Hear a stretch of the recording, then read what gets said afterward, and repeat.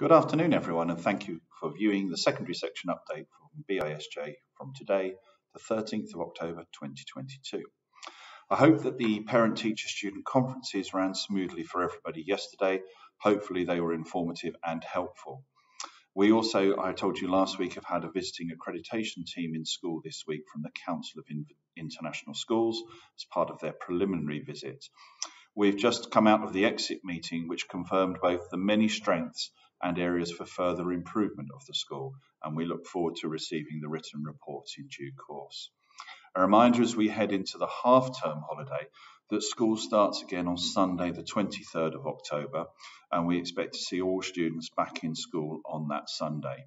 Students, please remember, remove nail varnish that you may have used over the holidays before you come back to school, please. Best wishes this week to our IB2 students who are applying for medicine in the UK and in particular to Oxford and Cambridge universities.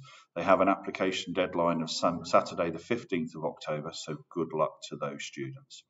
Also, a good luck message to everyone who's taking part in the Italy trip over the holiday, and a particular thank you to the staff who are facilitating that trip for students during the holiday period. So I hope everybody has a wonderful half term break, get lots of rest and relaxation, time with family and friends and loved ones.